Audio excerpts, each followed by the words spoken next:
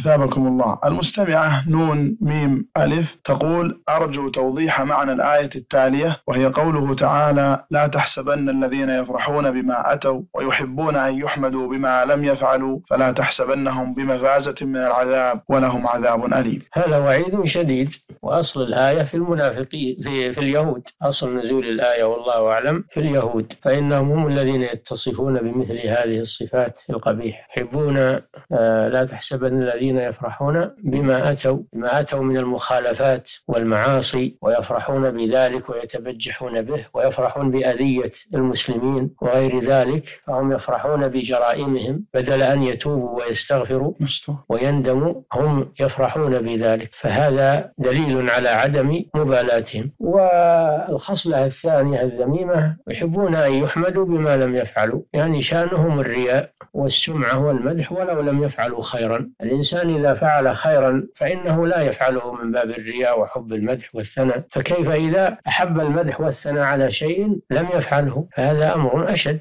نعم. قوله فلا تحسبنهم بمفازة. هذا وعيد من الله. بمنجاة بمفازة يعني بمنجاة من العذاب. ولهم عذاب أليم مؤلم موجع. هذا وعيد شديد على مثل هاتين الخصلتين الذميمتين. نعم.